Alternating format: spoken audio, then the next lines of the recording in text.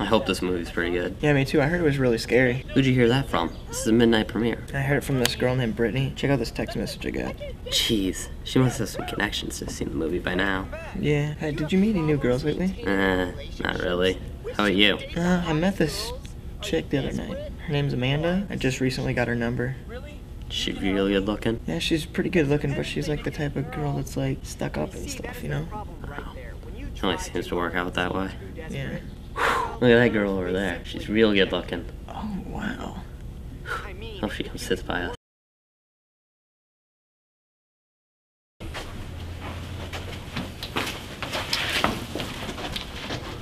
Dude, there's that chick from the movie theaters you were talking about. Who? Oh yeah! Hey baby!